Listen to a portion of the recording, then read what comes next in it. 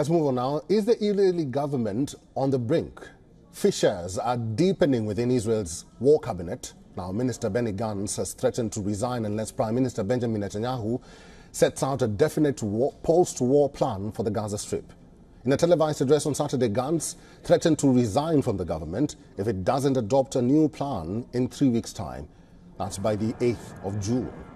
Gantz, who is a centrist member of Israel's three-member war cabinet, called for urgent realization of six strategic goals, including bringing back the hostages, to be followed by toppling the rule of Hamas and establishment of a multinational civilian administration for the territory.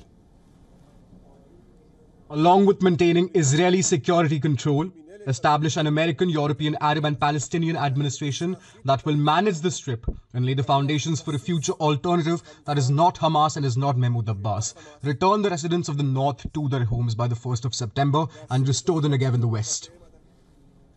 The comments by Gantz come just days after another war cabinet member, Defense Minister Yoav Gallant, urged Prime Minister Netanyahu to state publicly that Israel had no plans to take over civilian and military rule in Gaza. Netanyahu has dismissed the calls, saying the washed-up words would mean defeat for Israel. His office denounced the ultimatum to the Prime Minister, saying he was targeting the wrong party. Hardliners in his government want the military offensive on Gaza's southernmost city of Rafah to press ahead the goal of crushing Hamas. And the ultimatum from within his cabinet is further causing more worry. The people of Israel are watching you. You must choose between Zionism and cynicism, between unity and factions, between responsibility and lawlessness, between victory and disaster. If you put the nation and the national over personal and choose to follow the footsteps of Herzl, Ben Gurion, Begin, and Rabin, you will find in us partners in the struggle. But if you choose the path of fanatics and lead the entire nation to the abyss, we will be forced to quit the government. Opinion polls suggest Netanyahu will be replaced in elections with Gantz, the most likely candidate to be the next prime minister. The survey published by Maariv and conducted over 543 respondents revealed that War Cabinet member Benny Gantz is leading against the prime minister when it comes to choice of Israeli prime minister. Gantz garnered 45% support and Netanyahu 35%.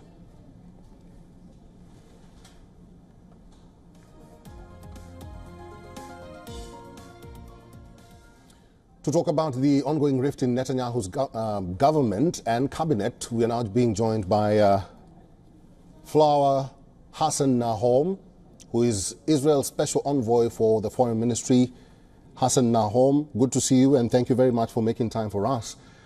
Is there a problem within the war cabinet in Israel and is Netanyahu safe?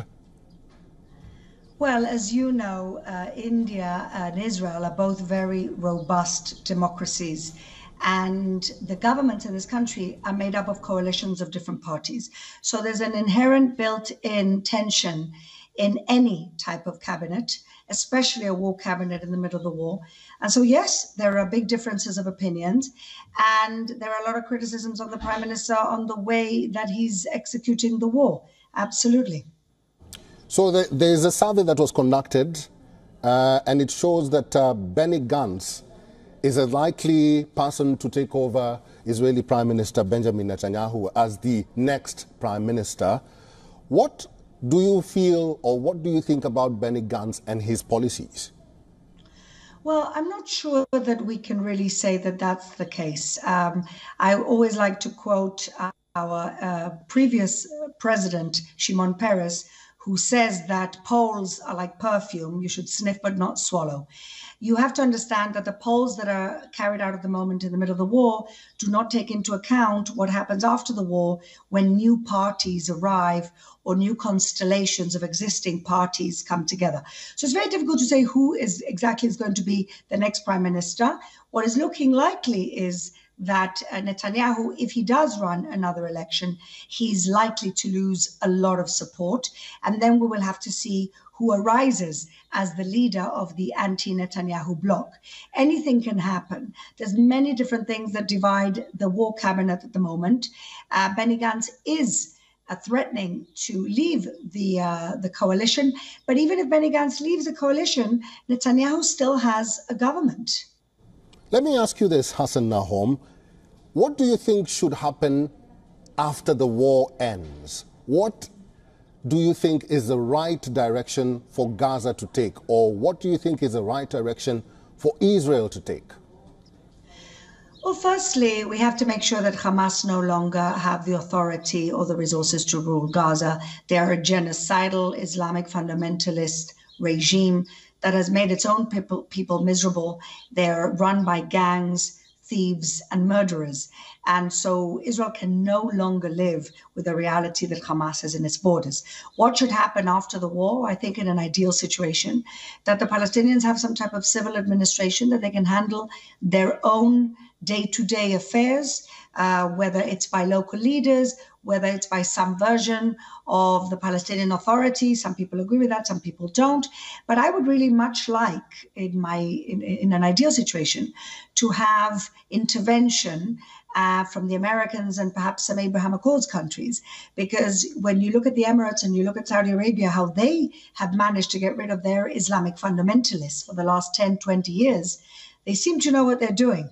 And so I think uh, there could be a nice regional constellation helping the, the helping Gaza and the people of Gaza uh, come to its feet, not under a genocidal regime that have spent all their resources building tunnels instead of developing the economy and developing their own people. All right. I've been talking to Spe- uh, Israel's special envoy for the foreign ministry, Madam Hassan Nahoum. Thank you for talking to us today. Thank you.